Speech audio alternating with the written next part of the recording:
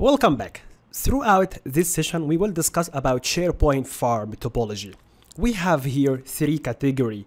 The first one, small farm. Small farm consists of two or three server, just being used for training purpose or for a very minimum, you know, small business. If it's two server, so one of them it will be for DC domain controller, and the other one will be used for a database and SharePoint or you know most of the cases it will be at least three server. In that case one server will be dedicated for database one of them will be dedicated for a sharepoint and the last one will be dedicated for a dc domain controller. Let's move on to other architecture which is called medium farm. Medium farm is used for a small business or for medium business.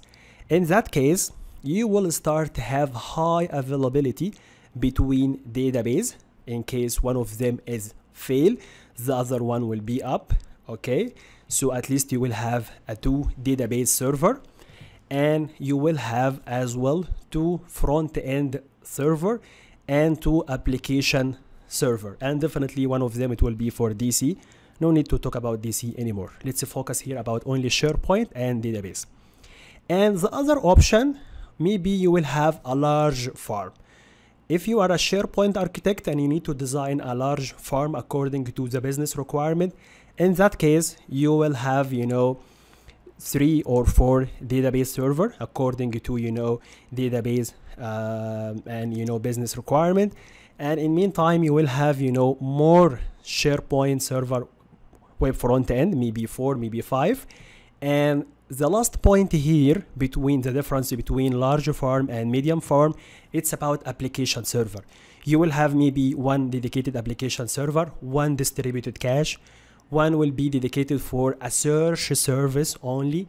One will be dedicated for a managed metadata okay? So in that case we will have more servers and definitely we will have you know uh, if we have um, two or four uh, web front end server in that case we need to have um, a load balancer server in that case. So the bigger farm the bigger server we will have a dedicated server for each you know service according definitely to business user requirement. They are required functional or non-functional requirement. Let's move on to another strategy. You know people you know in big organization should have that module should have a dedicated farm sharepoint farm dedicated for development develop called the development farm development farm which develop sharepoint developer will have a visual studio installed and he will connect to a sharepoint farm each developer will have his own Visual Studio, he will, you know, write his WSPs and just like deploy to the farm. Uh, and after that, he tests his code. He make he make sure the functionality is working fine, and he pass that release note or we call it, you know, WSP to the quality assurance team or the testing team or the software tester team which they will test the functionality over UAT environment. He will make sure everything is working fine. He will stamp that one is working fine. He will correct it. If it everything is working fine and pass that stage it will be moved directly to a production team.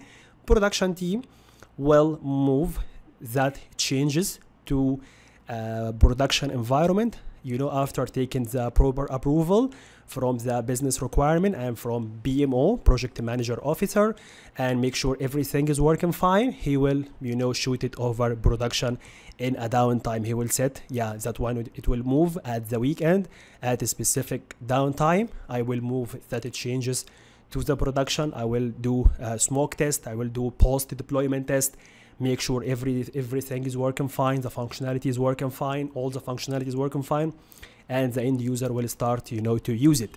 So that's basically one of the most common module. It's going on in a big organizations.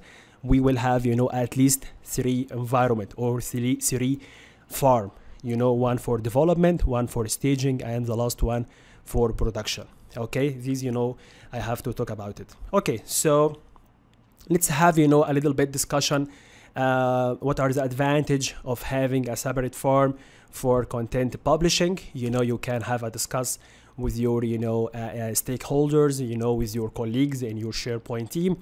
And you know you can put down below any comments or you can put any question for me. I'm super happy to answer any question. Thank you for watching and see